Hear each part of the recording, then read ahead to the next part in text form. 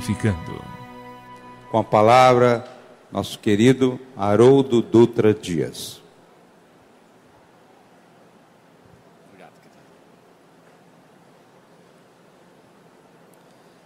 Caros amigos, retomando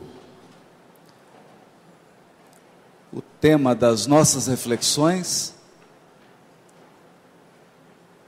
e dando continuidade ao raciocínio em que falávamos do encontro de Jesus com Simão e com André e sobre o que significa a implantação do reino de Deus. No livro Fonte Viva, capítulo 165, Emmanuel comenta o Evangelho de Marcos, capítulo 6, versículo 31. Nesse versículo está escrito: Disse-lhes Jesus: Vinde vós mesmos para um lugar ermo, em particular, e descansai um pouco, pois eram muitos os que vinham e saíam, e nem para comer encontravam tempo oportuno. Naturalmente, na sua visão aparente, o versículo fala da movimentação de uma multidão que seguia Jesus. Pessoas que se aproximavam, pessoas que partiam, pessoas que se movimentavam, viajavam de várias aldeias. Uma movimentação intensa. Cada qual envolvido nos seus afazeres, nas suas lutas, e de repente, para o espanto geral, ouvem do Cristo a seguinte advertência: Vinde vós mesmos para um lugar ermo, solitário,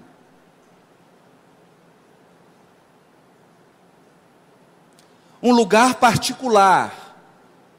Que lugar é esse? Uma montanha? No meio do mato? Que lugar particular é esse que Jesus estava chamando as pessoas?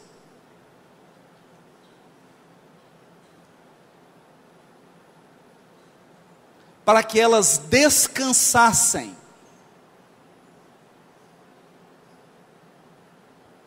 porque ficou comovido com aquela movimentação. A maioria de nós, quando abre o Evangelho e lê um versículo desse, está pensando em pessoas movimentando. Como muitos que vieram aqui, estão imaginando que eu vim falar de acontecimentos da transição planetária.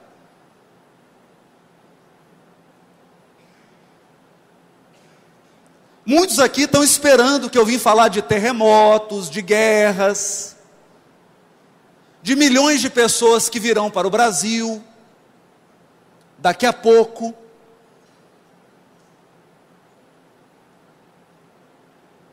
De acontecimentos que estão próximos. No entanto, o benfeitor Emmanuel, pelas mãos de Francisco Cândido Xavier, em 1948, recebeu uma mensagem comentando esse versículo. Qual o enfoque deu Emmanuel? Qual ângulo desse versículo ele comentou? Eu vou ler um parágrafo dessa mensagem, porque não precisa mais de um.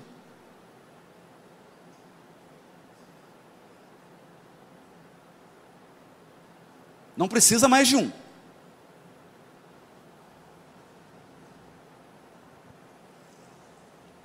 É possível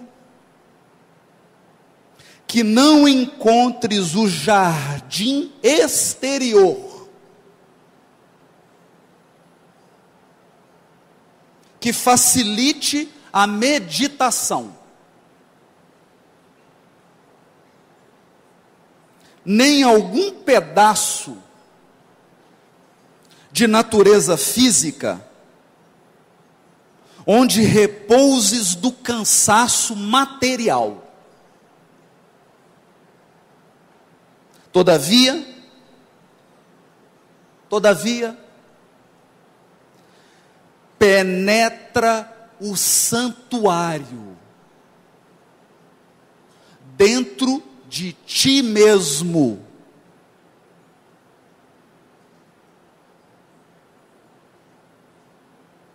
Penetra o santuário dentro de ti mesmo porque esse versículo não está falando de repouso material. Esse versículo não está falando de um descanso do corpo.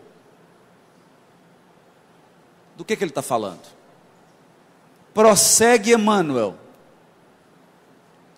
Há muitos sentimentos que te animam há séculos.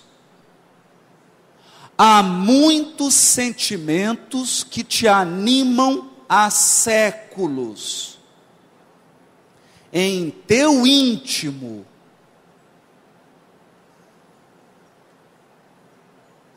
imitando o fluxo e o refluxo da multidão.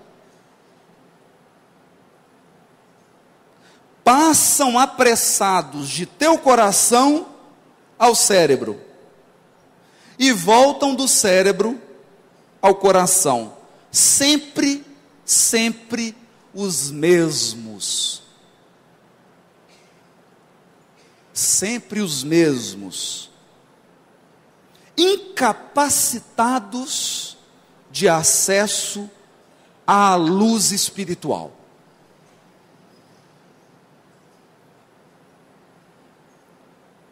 São os princípios fantasistas de paz e justiça, de amor e felicidade que o plano de carne te impôs.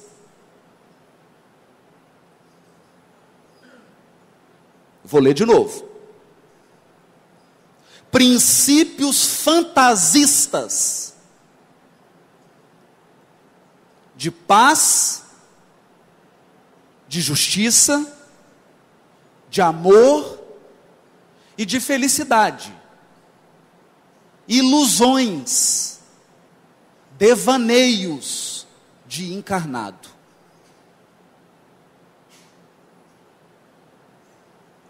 Em certas circunstâncias da experiência transitória, podem ser úteis. Algumas vezes eles são úteis. E é aí que está o perigo deles. Entretanto, não vivas exclusivamente ao lado deles.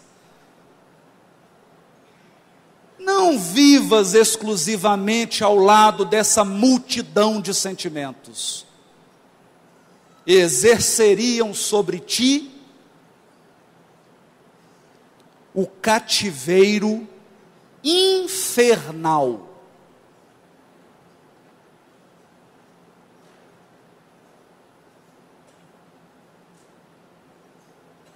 É sobre isso que eu vim falar hoje.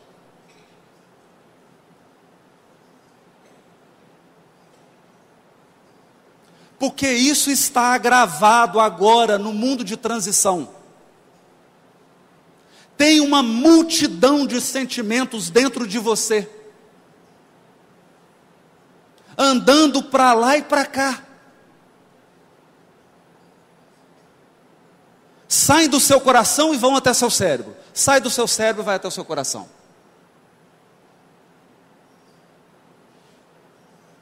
Quer fazer uma experiência?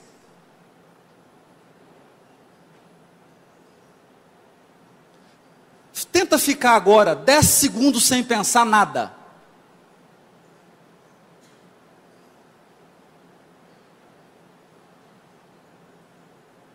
Você não consegue. a não ser que tenha alguém aqui treinado na meditação. Treinado no recolhimento. E se você não consegue ficar 15 minutos sem pensar nada, não é você que controla seus pensamentos, são seus pensamentos que te controlam.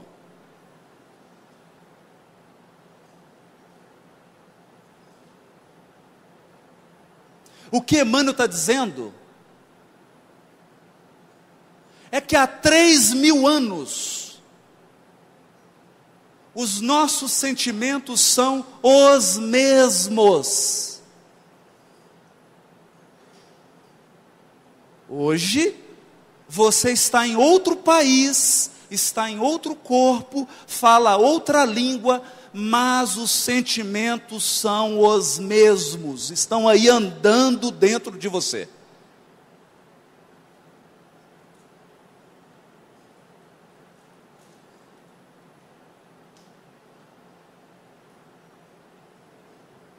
O maior desafio de Jesus para regenerar a terra não é fazer nada fora é acalmar essa multidão que está dentro de você e dentro de mim.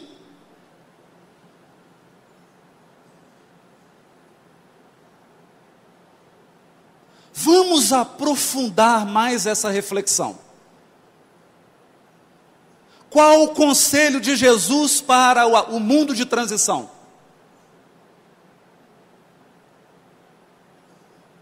Qual o papel do Evangelho agora, em que nunca se viu tanta corrupção, tanta violência, tanta indiferença, tanta falta de sensibilidade, de caráter?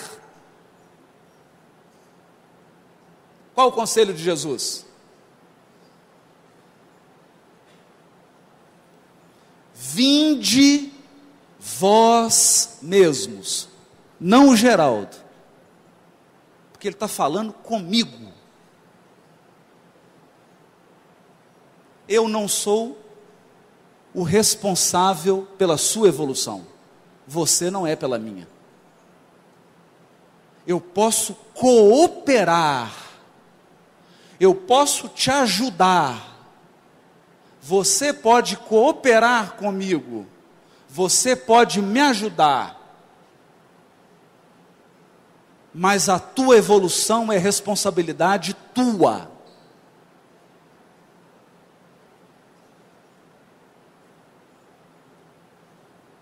Eu vinha de Barretos com o Quincas Veloso, irmão do Marival Veloso, foi presidente da União Espírita Mineira, da Federativa Mineira. E ele me disse que certa vez tinha um problema, estava tendo um problema sério com o filho. E foi até o Chico. E o Chico perguntou para ele: quantos anos ele tem? Tem 20, Chico. Então ele já é maior.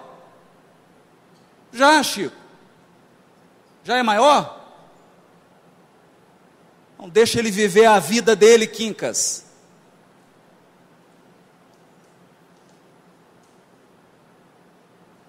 Porque senão ele vai viver a sua vida e vai dizer que você é responsável pela infelicidade dele.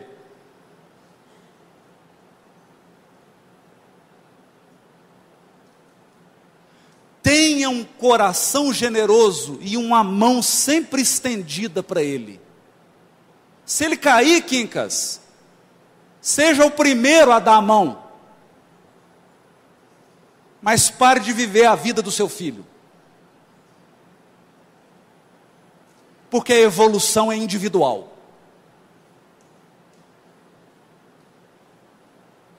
É cheia de amor, é cheia de intercessão, é cheia de misericórdia, é cheia de caridade, é cheia de cooperação. Você está sempre cercado de benfeitores, mas quem evolui é você.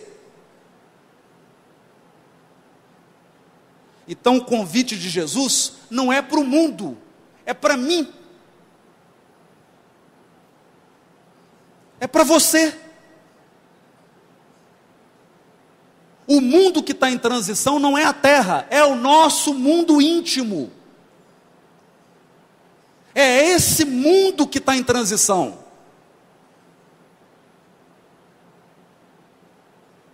E o conselho de Jesus é: vinde vós para um lugar ermo, em particular, sem ninguém, particular, sem ninguém entra dentro do teu coração, porque afinal é dentro dele que vai ser construído o um mundo de regeneração.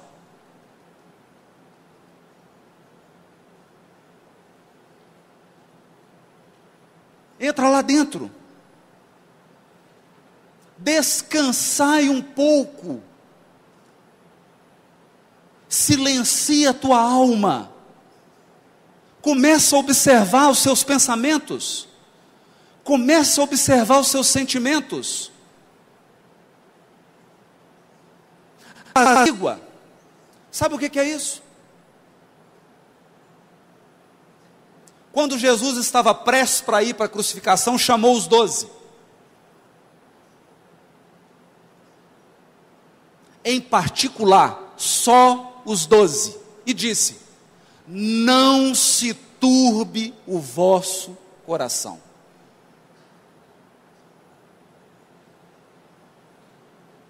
Não se turbe o vosso coração. Credes em Deus? Você crê em Deus? Isso Jesus está perguntando. Você crê em Deus? Crede também em mim. Você crê em Deus? Crê no Cristo. Bittencourt Sampaio ditou uma mensagem, um dos momentos mais críticos da época. O Cristo está no leme.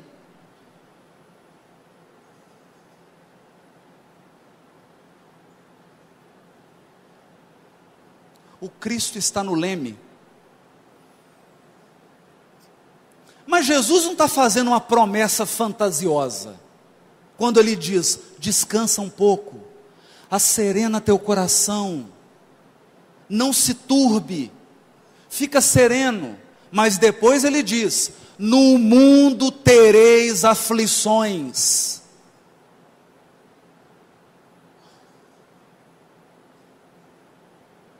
Tudo que você tem que passar de dor, você vai passar tem de bom ânimo. Eu venci o mundo. Que mundo? Que, que mundo que Jesus venceu? Se ele saiu daqui crucificado, será que ele está falando do mundo exterior? Quem vence no mundo exterior são os guerreiros, que matam milhões de pessoas e depois são condecorados com medalhas.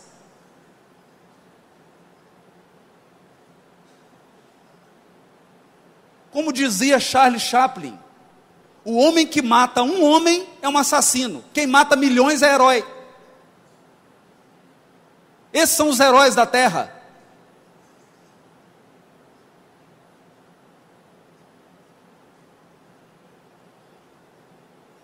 Então Jesus disse: Eu venci o mundo. Que mundo? O mundo íntimo. Isso é sério. Isso é muito sério. Mas agora o espírito bravo vai embora e vem outro. Por quê? Por quê? Que história é essa de que tem uma multidão dentro de você? Será que isso é uma metáfora? Será que é uma literatura? Será que eu vim aqui só para falar bonito? Ou para fazer declaração?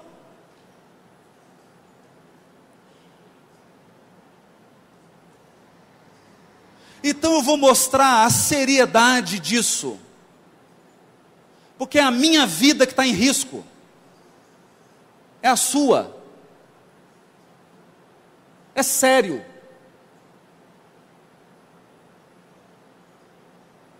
Vamos entender um pouco melhor isso, para entender o papel do Evangelho agora, na transição planetária. Para entender a importância de estar encarnado hoje. Está na obra ação e reação.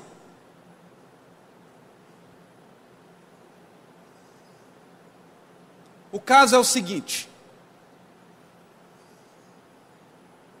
havia um homem chamado José Olímpio, que tinha dois irmãos.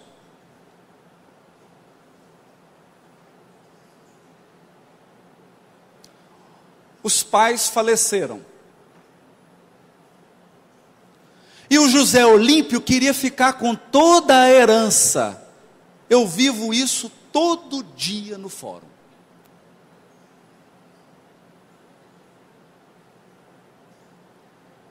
Às vezes alguns perguntam: quais são os piores processos que você vê? Processo de homicídio? Eu digo não, processo de herança, porque destrói a família toda.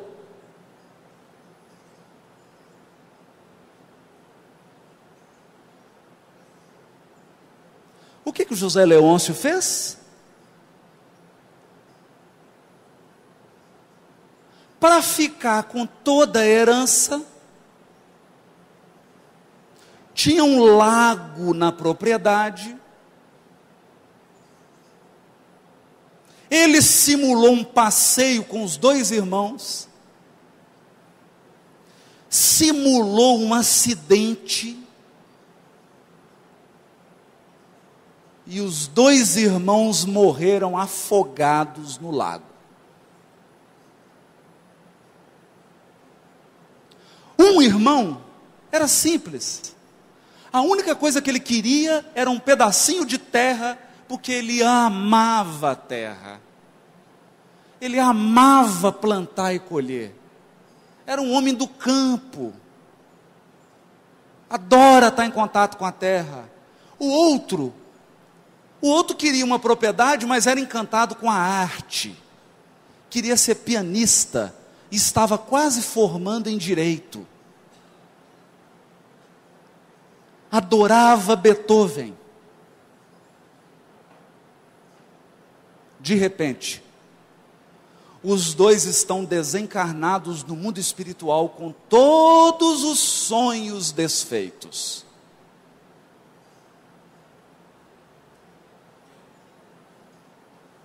Conclusão: o nosso irmão José Olímpio tinha agora dois obsessores cruéis, cujo objetivo eram matá-lo para que ele viesse para o mundo espiritual. E conseguiram. E conseguiram. Mas eles não ficaram satisfeitos não queriam só vingar, vingar o José Olímpio, queriam massacrar a família inteira. Então, sabe o que, que eles fizeram? Começaram a obsidiar a viúva do José Olímpio. Não é obsessão de dois, não. Chamaram centenas de espíritos. Conclusão? Ela entrou num estado de depressão, e o livro vai explicar, eu não vou falar aqui agora, porque não vem ao caso, que tinha todo um processo kármico dela, obsidiaram ela tanto, que ela teve um surto e morreu no lago.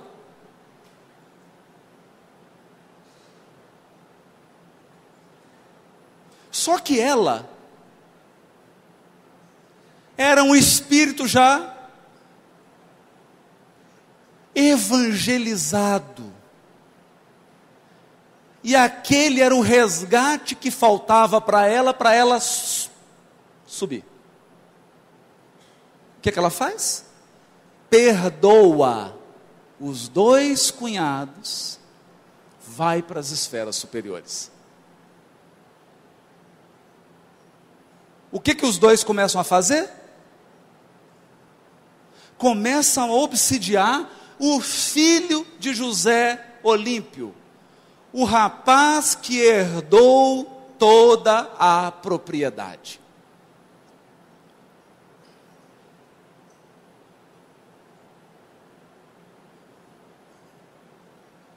E então, no mundo espiritual, designam Silas, um trabalhador incansável de uma colônia que está localizada em regiões tenebrosas, infernais do mundo espiritual. Designaram Silas para cuidar do caso. E Silas levou André Luiz e Hilário Silva, o autor de A Vida Escreve e de Almas em Desfile. Quando eles chegam lá, o que, que o Silas faz? Com muita sabedoria e muito amor, você acha que ele chega atacando os obsessores? Não, chega conversando.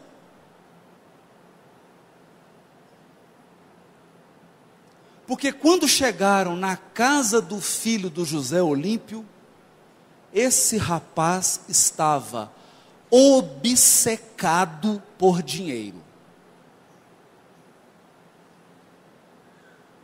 A fazenda estava destruída. Quando André Luiz entra a fazer, fala: Meu Deus, mas o que, que é isso?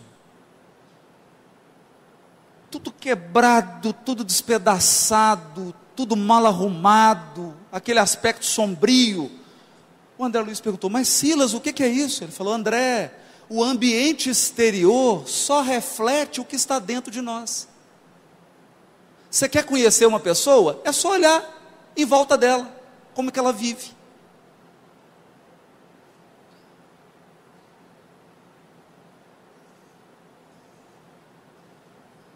E eles então entram. Chegam lá. Tem mais de 300 espíritos.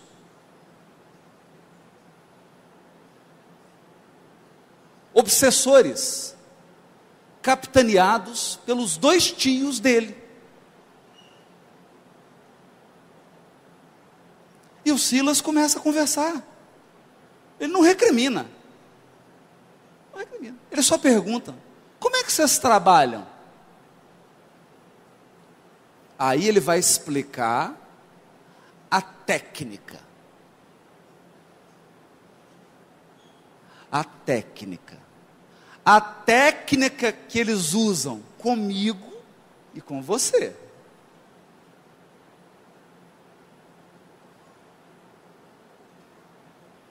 Principalmente agora na transição que está mil vezes mais fácil obsidiar.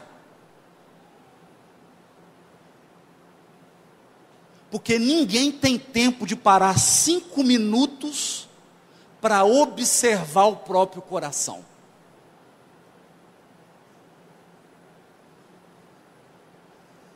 Ele vai explicar a técnica. Aí o que, que ele começa a dizer? Que eles não criaram aquela situação. Um obsessor ele não tem poder de criar uma situação dentro de alguém. Eles se aproveitam de um sentimento que está dentro da pessoa. Sabe aqueles sentimentos que vão e vêm do coração para o cérebro, do cérebro para o coração, e que há milênios estão zanzando dentro de você e dentro de mim? Pois é, são esses. São esses. Você já mudou de corpo 30 vezes, mas são os mesmos sentimentos? São esses aí. E aí eles explicam que a única coisa que eles fazem é colocar álcool ou gasolina na fogueira. A fogueira já existe dentro de mim e dentro de você. Ela só é alimentada.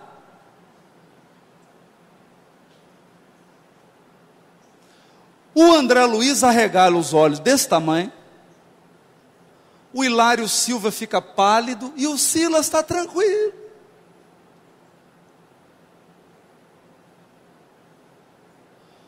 O André Luiz não aguenta, vira para os dois obsessores e fala: Onde vocês aprenderam isso? Ele fala assim: Sim, aprendemos nas escolas de vingadores.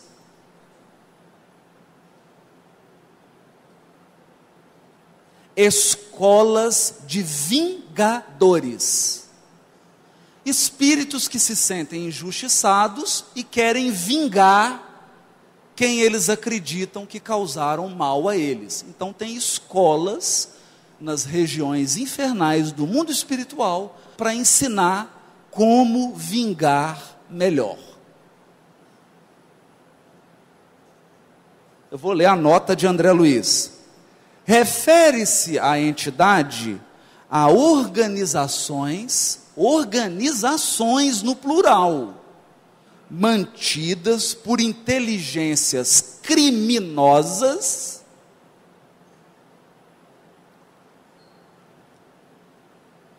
aliciadas temporariamente nos planos inferiores. Até aqui ninguém se assuste, está tudo certo. Está tudo certo.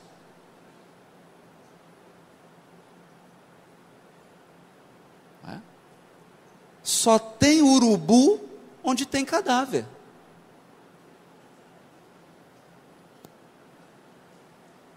Está tudo certo. O interessante vem aqui agora. Aprendemos nas escolas de vingadores que todos, todos possuímos. Eu acho interessante que o que ele vai ensinar aqui, estão ensinando nas escolas de vingadores, mas não estão ensinando nos grupos espíritas.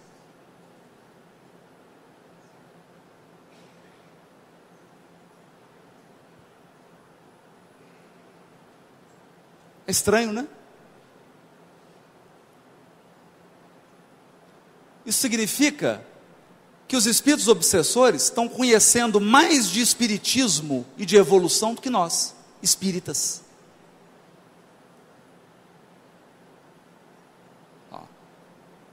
Então eles estão dizendo que aprenderam nessas escolas que todos nós, todos nós aqui,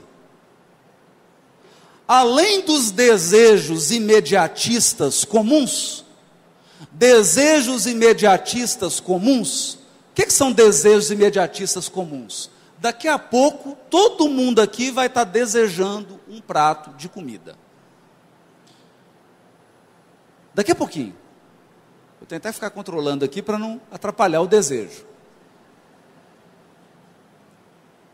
Quem é vidente começa a ver prato de comida rodeando em torno da pessoa, porque é a forma pensamento. Você pensa e toma forma. Então, em alguns é uma macarronada, no outros é um bife. Começa a circular em torno da aura da criatura. São as formas pensamentos, está lá no livro Mecanismo da Mediunidade.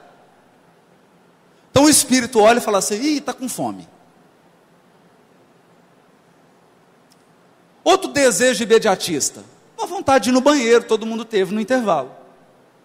Então não é disso que eles estão falando. Porque isso você vai lá, come o prato de comida, acabou.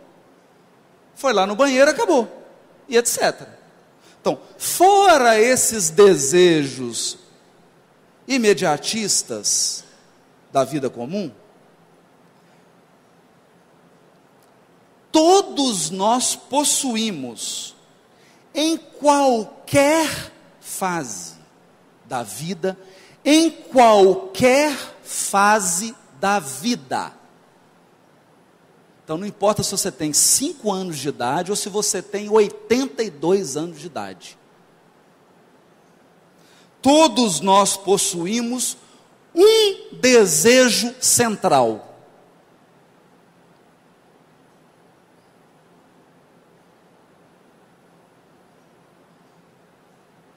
um desejo central. É o central. Em torno dele tem alguns outros ali, igual o planeta em torno do Sol. Mas é um central. Ou tema básico. Tema básico dos interesses mais íntimos que, que esse obsessor está dizendo? Ele chega, fala assim: temos uma missão aqui, obsidiar o Haroldo. Ele fala: traz a ficha dele.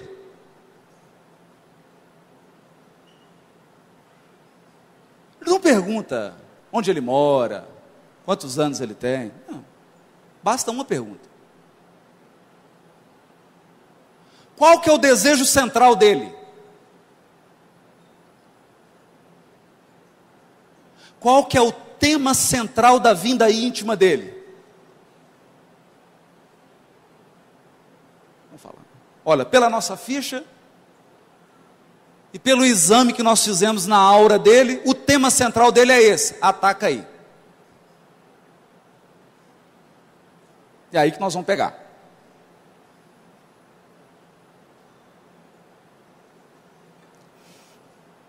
Por isso, além dos pensamentos vulgares que nos aprisionam a experiência rotineira, emitimos, emitimos com mais frequência os pensamentos que nascem do desejo central que nos caracteriza. Então é fácil. O espírito fica aqui do lado do Geraldo, do meu, monitorando 24 horas, catalogando os pensamentos que ele tem, tirando aqueles comuns, ir ao banheiro, ir ao banco, pagar uma conta, não, os desejos. E aí eles vão perceber, opa, está repetindo, está repetindo, está repetindo. Encontramos o padrão. Na estatística, o maior número de pensamentos que o Geraldo emite são do desejo central Y. Pronto, já sabemos qual que é o calcanhar de Aquiles do Geraldo. Agora é montar a estratégia.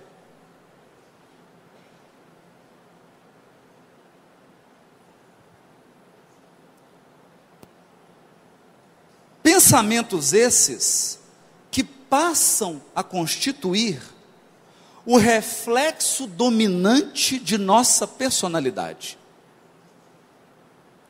Passam a constituir a característica principal da sua personalidade. Presta atenção, eles não estão dizendo característica principal do seu eu profundo.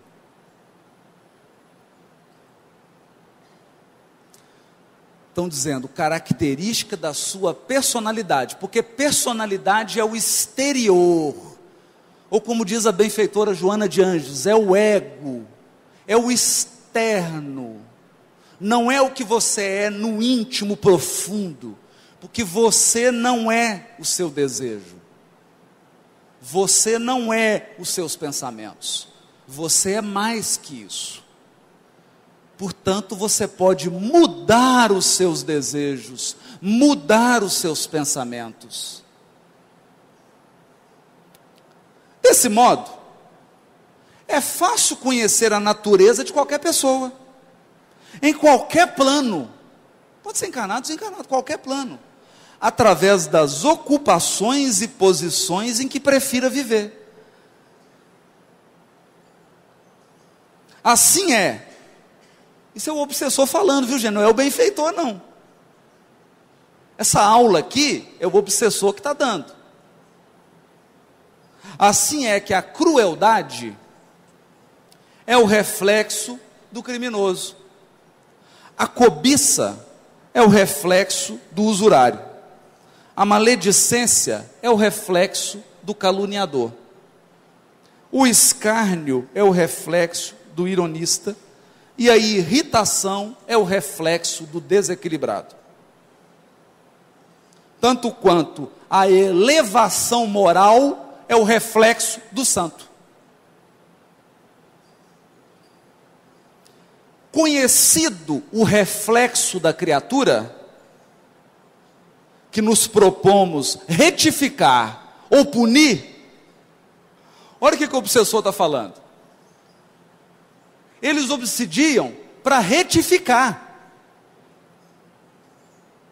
para dar uma lição na pessoa, ou para puni-la dentro da percepção deles. Não está dizendo que é certo. Na ótica deles é isso. É claro que estão equivocados. Estão equivocados, porque estão assumindo um papel que compete somente a Deus.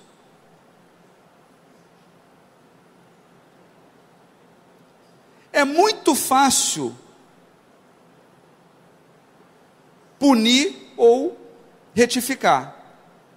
Basta superalimentar com excitações constantes, robustecendo-lhe os impulsos e os quadros já existentes na imaginação e criando outros que se lhe superponham, nutrindo-lhe dessa forma a fixação mental.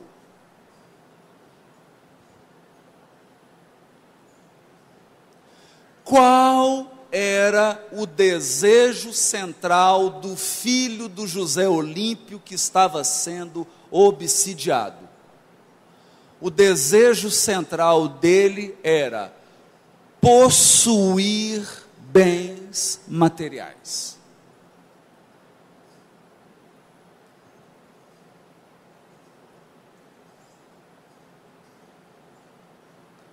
Ele vivia como um mendigo a propriedade rural dele era destroçada. Quando o Silas e eles chegam na casa dele, desse obsidiado, ele estava oferecendo um jantar. E o Silas virou para André Luiz e disse assim: André, observe. Durante todo o jantar, durante as quatro horas que durou o jantar, esse rapaz só reclamou. Reclamou do governo, reclamou da política, reclamou da inflação, reclamou da caristia, reclamou da dificuldade de conseguir funcionário para trabalhar na fazenda, reclamou das dificuldades do mundo, e depois de três horas que ele estava reclamando, o Hilário já não aguentava. Ele perguntou para o benfeitor: Mas olha, a sensação que dá é que ele é um mendigo.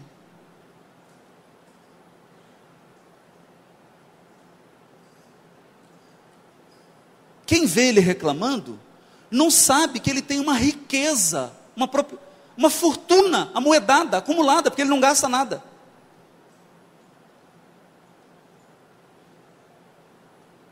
Aí sabe o que, que o obsessor falou com o Hilário? É esse o padrão alimentar que a gente alimenta nele. A gente faz ele se sentir que ele tem cada vez menos e que ele vai perder, para ele aumentar o desejo de acumular.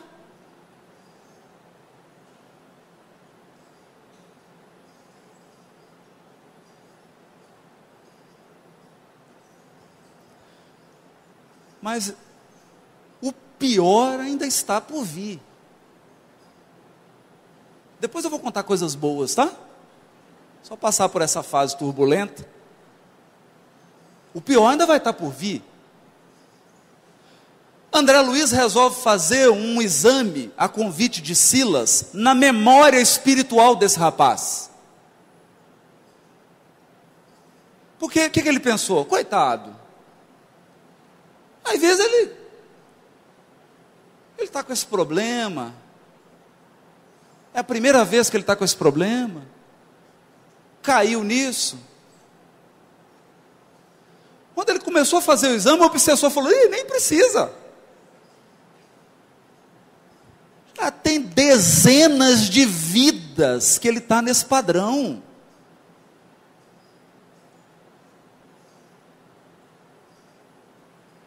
dezenas de vidas. São várias reencarnações.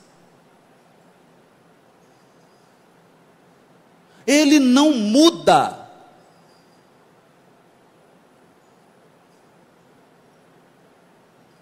Já nasceu pobre, pobre, pobre, pobre, não mudou. Nasceu rico, rico, rico, não mudou. Já nasceu no meio, não mudou. Nasceu mais para cá, não mudou. Mais para lá, não mudou. Não tem jeito. De qualquer jeito que ele encarnar, esse é o padrão mental dele.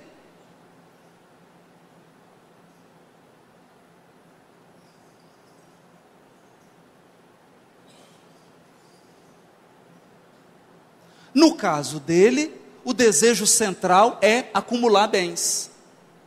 Mas tem outros. Para outros, é a questão sexual. Para outros, é poder. Poder. Poder. Quer mandar. Para outros, é vaidade quer ser aplaudido de qualquer jeito. É o desejo central que o move a 10, 20, 30 reencarnações. Então, se você me perguntar agora, qual o papel do Evangelho na regeneração e na transição planetária? Regenerar o teu desejo central. Modificar o meu desejo central, porque senão eu não saio dessa situação que eu estou. E eu já estou nela há mais de dois mil anos.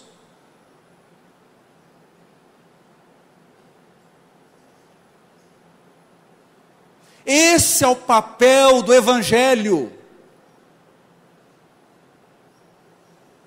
Modificar o seu padrão de desejo.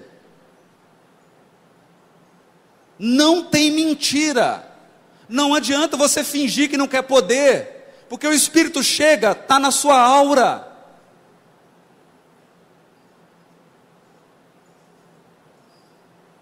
Você irradia isso.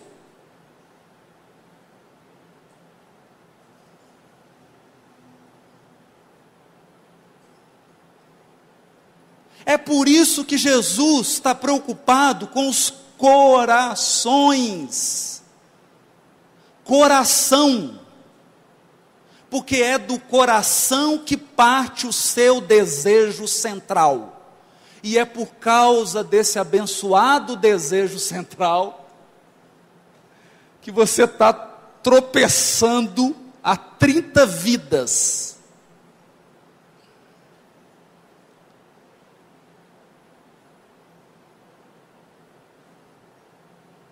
Agora, olha que coisa. Agora eu vou começar a dar uma boa notícia.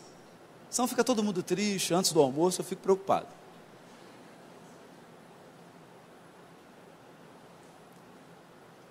O André Luiz vira para Silas e fala assim: Benfeitor, por que, que você foi designado para ajudar esse rapaz?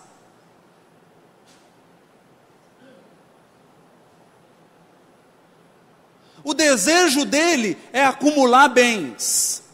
O desejo central dele é acumular, ter, ter. Ele não usa, mas ele quer ter.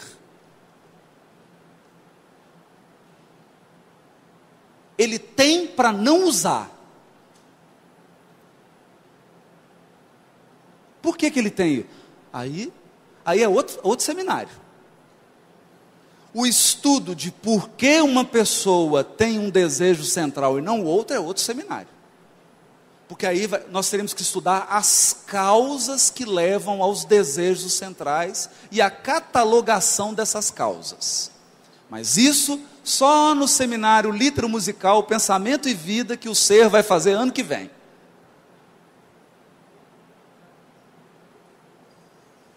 Tudo tirado da obra de André Luiz. Não tem invencionice nenhuma. Estou tirando nada da minha cabeça, estou só lendo. Estou só lendo. As causas ficam para uma segunda oportunidade. O André Luiz pergunta: Benfeitor Silas, por que, que você foi designado para esse caso? Aí Silas começa a derramar lágrimas.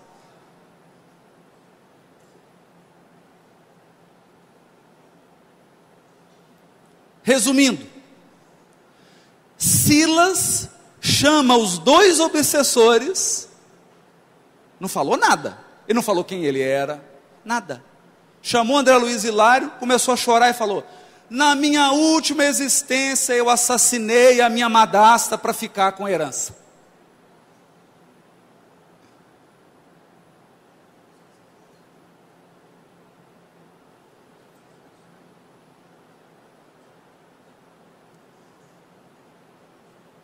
Já tem mais de 50 anos que eu estou trabalhando aqui. Já encontrei minha mãe, que está nas esferas superiores. Já encontrei meu pai, porque o caso era complicado. Ele já aceitou voltar comigo, mas não encontrei ainda minha madrasta. E o meu sofrimento é que eu quero reencarnar, eu quero resgatar, mas eu não encontro a pessoa que eu prejudiquei. Porque às vezes a gente acha fácil, acha que é simples encarnar para poder resgatar. Não é não, hein? Não é simples não.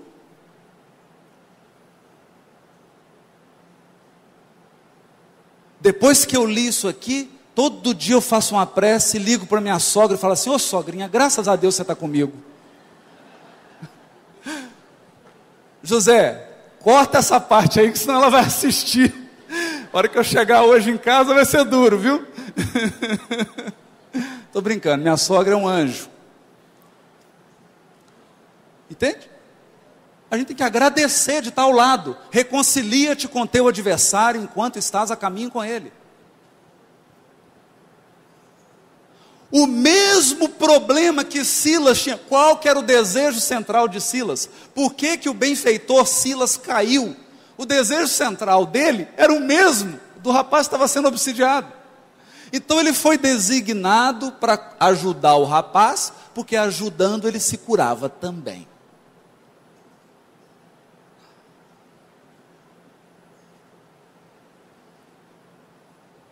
Então, O que, que eu posso dizer?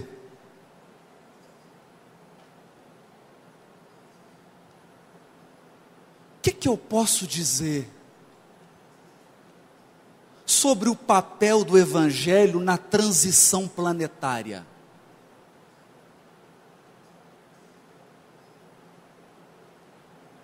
Eu posso dizer o seguinte, meus amigos, todos vocês estão aqui agora, todos.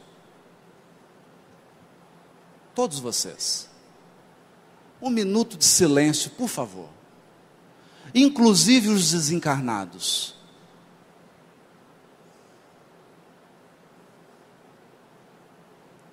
Você veio aqui hoje. Graças a Deus, esse sol lindo, esse calor maravilhoso, que deixa a gente animado, né? Querendo um chimarrão para refrescar. Você veio aqui hoje, eu vim aqui hoje. Sabe por que, que eu estou com esse microfone na mão aqui em cima? Sabe por que, que você está aí? Porque tem dezenas de reencarnações, meu amigo. Tem dezenas de reencarnações que você está tropeçando nos mesmos buracos.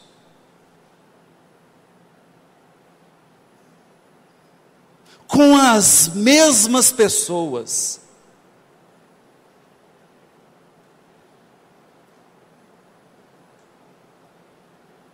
E possivelmente, se eu estou aqui agora e você está aí, eu estava lá.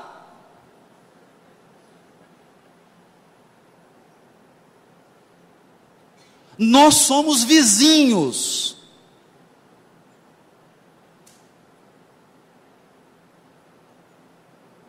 Nós somos vizinhos. Nós estamos caindo juntos há muitos séculos.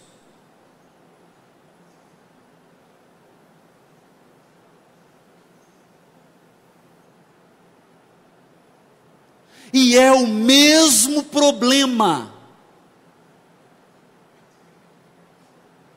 É o mesmo. E você sabe qual é. Você sabe. Você sabe. Você sabe exatamente qual é o seu desejo central que está te derrubando toda vez que você tenta se erguer.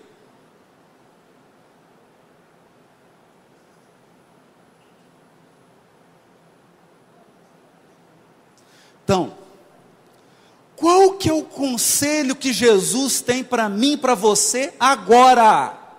Agora. Vem para Jesus, não para mim, que eu também estou indo. Vem para um lugar ermo, em particular, serena teu coração, descansa, começa a observar o seu sentimento, o seu pensamento, anota descobre qual é o seu desejo central. E deixa Jesus te curar.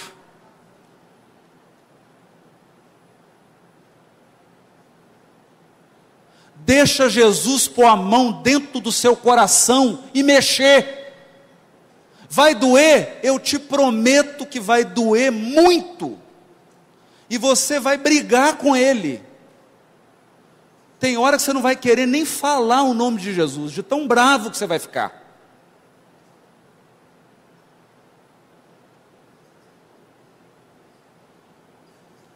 Mas, por favor,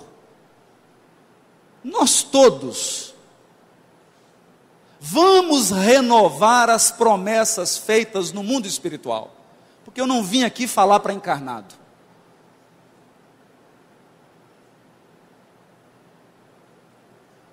Não está aqui o juiz. Eu estou aqui em espírito.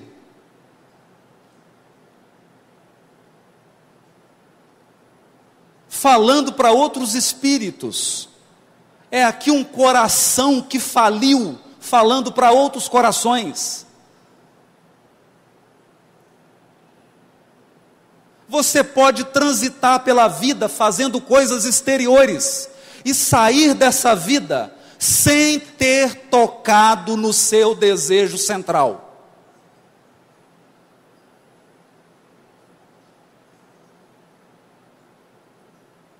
Você pode viajar milhares de quilômetros, encontrar milhares de pessoas e não mexer no seu mundo íntimo. Meu irmão, isso não adianta. Isso não adianta. Desculpa se a minha palestra foi feia. Desculpa se eu não te agradei. Mas eu não vim aqui para agradar.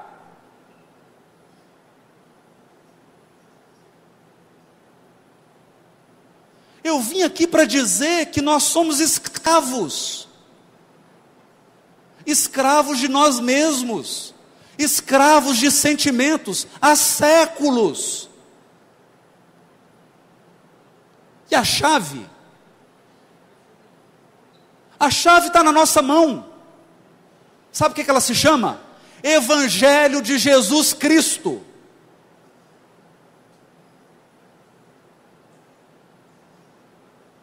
Evangelho de Jesus Cristo, à luz da doutrina espírita, é a chave que vai libertar a tua alma. Você pode até chorar, nós vamos estar chorando juntos. Você pode até sofrer, nós vamos sofrer juntos. Mas, o reino de Deus será implantado em nosso coração. Agora ou daqui a milênios. Muito obrigado, Jesus te abençoe.